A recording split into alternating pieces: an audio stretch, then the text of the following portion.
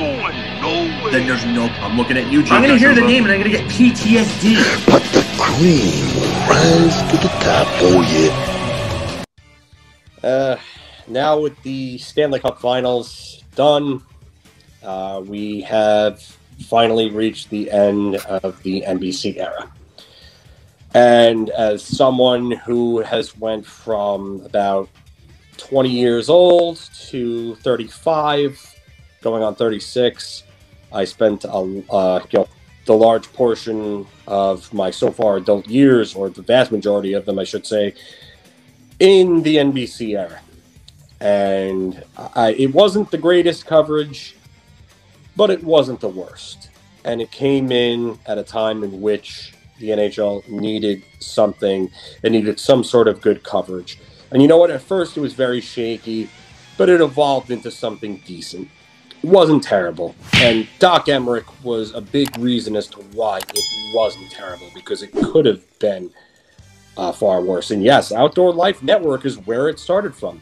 I re- distinctly remember calling up uh, Optimum or Cablevision at the time before it was really called Optimum, and was looked scrambling to try to get OLN Network, and got OLN Outdoor Life Network on the very first night of the regular season, just in time to see Jason Strudwick score the very first goal of the salary cap era for the New York Rangers against the Philadelphia Flyers. Jaromir Jagr would start the very first night of his Rangers dominance in that game with two power play goals against the Philadelphia Flyers. Marcel Hossa would add one. Um, that the, the Jagr and Friends line was fun to watch, but I don't want to get too far off into the Rangers. But NBC's coverage, from what it started from to what it became, and the evolution of it, it actually came into something good. We started getting analysts involved like Anson Carter and Keith Jones and you know what? You say what you want about Mike Milbury. Added some personality. I'm not really the biggest fan of him, but you know, Jeremy Roenick was good for them before everything happened with him. And I, I personally, I liked NBC's coverage, but I'm glad we're going to ESPN. But there's a lot of memories that we had, and as Ranger fans, you witnessed the rebirth of a team, of a franchise, under you know the NBC banner. I mean, this team was a competitor for nearly the entirety of the NBC era. So, I mean, you had the great calls like the the Derek Stepan goal. This game, both teams. Off the tie-up, it is fair, but it came back to Yandle. Drive by Girardi to save.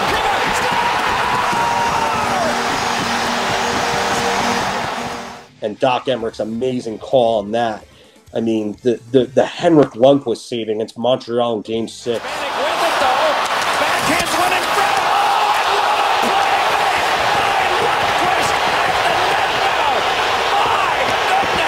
Goodness. Throws his stick, hits it with a blocker, Keep. I mean, I, I was I was there for that. I know Mark was there for that as well. Uh, game four, Marty St. Louis overtime winner. Follow up from Markov. Very careful trying to play it a second time. Can't do it. Here's St. Louis moving in.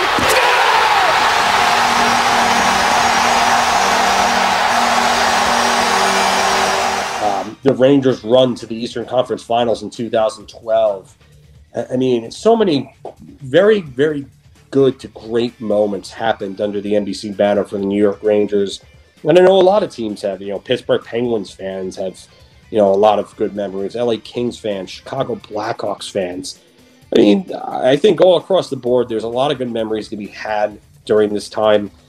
Um, but I'm definitely looking forward to hearing that ESPN National Hockey Night theme again, because if that doesn't give you goosebumps, you know, heading into hockey season, I think you might not have a pulse. I think you might want to go check yourself into a hospital if you can, because you might be dead otherwise. And yeah, I I, I loved what I saw from NBC during their final years. It was definitely a work in progress.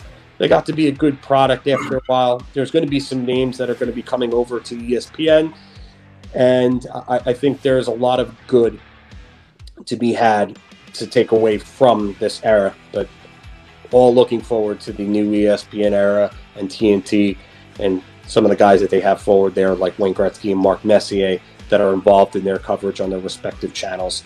So, guys, I, I know that you guys probably have some good memories of the uh, the NBC era yourself, Anthony.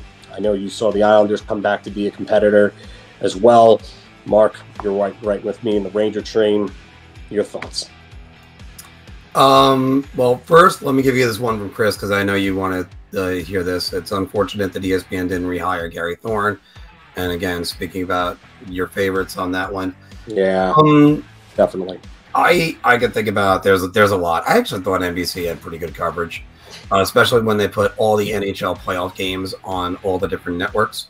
Uh, that was fantastic. Uh, fans didn't have to scramble. We didn't have to look around. It wasn't like 1990 all over again, going, "Oh, I wonder what's happening here. What's happening here." Um, the uh, later that year, you were talking about the first season. Uh, that was Jagr Jagr scored the goal that broke Graves' record for most goals in a season. He did it against Boston Bruins. Yeah. Uh, that was late in the season. Um, there were so many great games on NBC. Brad Richards' goal um, always comes to mind as well because that was with 6.6 seconds left to go. Now to.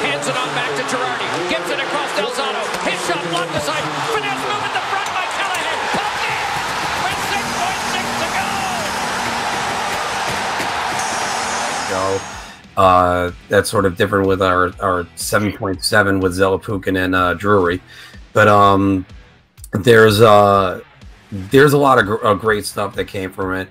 All the coverage of Mike Emrick, who really just brought the game to life. And the great thing is, I've I'm one that actually probably remembers three different networks that were covering the NHL when it was ABC slash ESPN, Fox uh, coming in, and Fox started out unique, and then uh, the last year they basically just didn't care. They they knew that it was going to ESPN, and then um uh then going over to NBC and NBC I thought did a great job. They gave it their all. They did a lot of extra content uh, for the for the games, and now now it's gone. And now um, ESPN. I hope they're going to be good, but I hope TNT is going to be what Fox was back then. I hope they're going to bring it and bring it.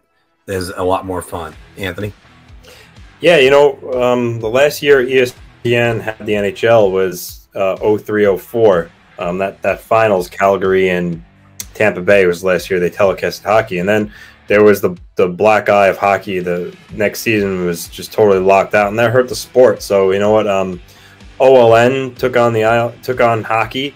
Um, you know, and eventually turned into Versus, and then Versus got bought by NBC Sports. Um, and NBC Sports did right by the NHL. You know, they, they did a good job. They I think they really helped bring, you know, get finally recover from that whole year they missed. Um, you know, they're prevalent. They showed those Saturday, Sunday afternoon games on primetime NBC. Um, so I thought they did a really good job of hockey. They had some good personalities in there. Um, you know, like Jeremy Roenick was there for a while, Milbury. Um, you know, uh, Kathryn Tappen, I thought did a really good job on NBC Sports as like kind of Mhm. like host alongside Liam McHugh. Um, you know, I thought they were good, well spoken.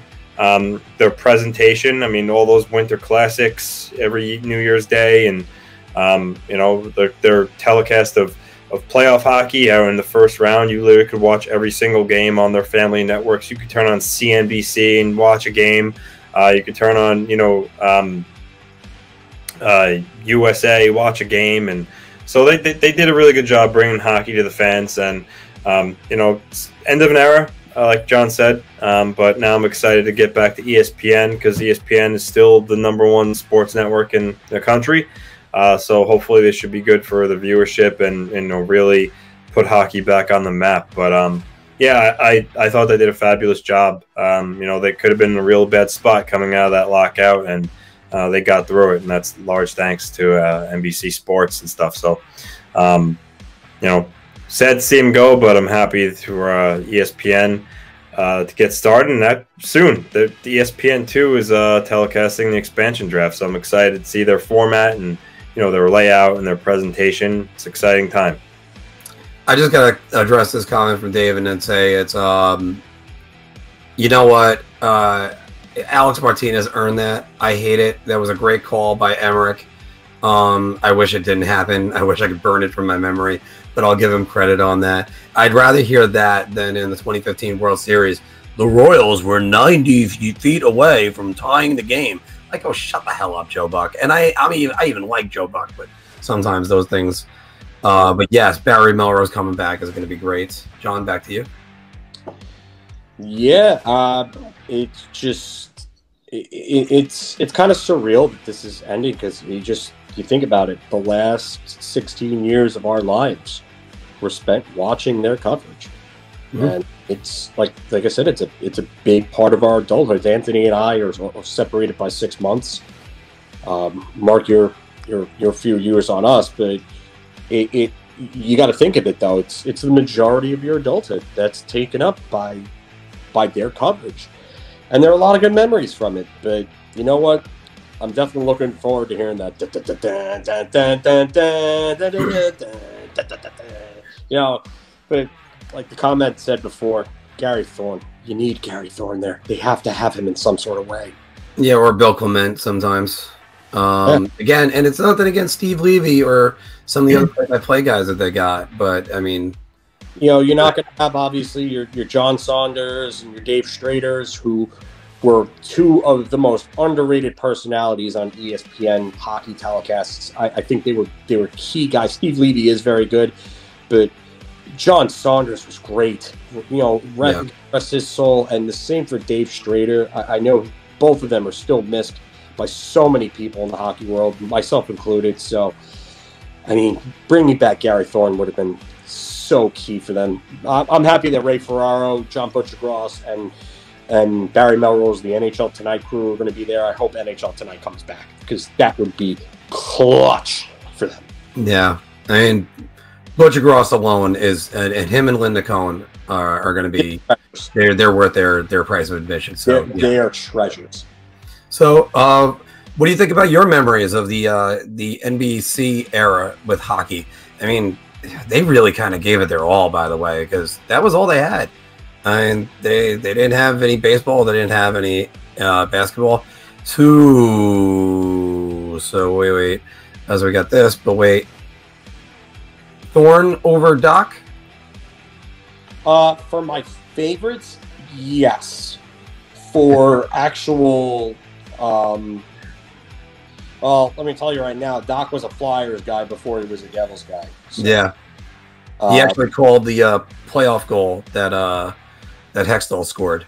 Yeah. So, but um, terms of an actual analyst and play-by-play guy, there's nobody that's been better at it than Doc Emrick. But Gary Thorne's just always going to have just a special place for me because I, I grew place. up on Gary Thorne's calls. Yeah. Um That's a great question. Is, is who's doing the draft? Does anybody know? I think bu- oh the uh, the en- the expansion draft. Yeah. No, the uh, the NHL draft. I think I think ESPN or or NHL. has to be the new- ESPN might be doing it. I'm not sure. Yeah, I know they're doing. I definitely know they're broadcasting the expansion draft. I'm not sure about the entry draft. Yeah, I gotta, I gotta take. Uh, yeah. Yeah. I mean, I don't think NHL tonight will be. I I, I I don't think that has any anything to do with it really. no, I think they they don't even do uh um like NBA tonight or I, I haven't seen baseball tonight in years. So uh they kind of just stopped doing that as soon as all these other things. Uh Anthony, really quick before I, I do the sign off again. Um uh Emrick or Thorne? Doc. Yeah, I gotta go Doc too. And I, I had the pleasure of having Gary Thorne do Mets games too. So, um, so what do you guys think? What was your favorite memories from the NBC era? I know what uh, if you're a Ranger fan, what was your least favorite memory from the NBC era? Um, Jesus Christ, we have two of them. We really do because it's that and Henrique. Yep. Uh, it's still, and again, I think I can accept the um the Martinez goal more than the Henrique goal. Yeah, because they got to the finals and it wasn't against a team like the Devils, who were who were a longtime rival. Yeah, and on top of it, also that same kind of thing that Anthony's feeling right now. Oh, we would have beat LA was was what I was thinking, but you know, just like Anthony, I would be wrong. So, uh, Anthony. Uh, so by the way, so uh, what's your what's your thoughts on the end, end of the NBC era? We're cutting it right there. Uh, that's my third sign off on that one. If you like that video, we got a lot more. So check out any of these that are right over here. And don't forget to like, share, and subscribe. Your ideas are intriguing to me, and I wish to subscribe to your newsletter.